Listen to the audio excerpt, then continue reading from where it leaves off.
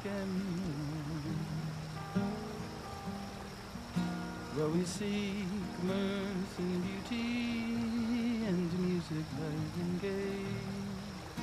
There are frail forms fainting at the door.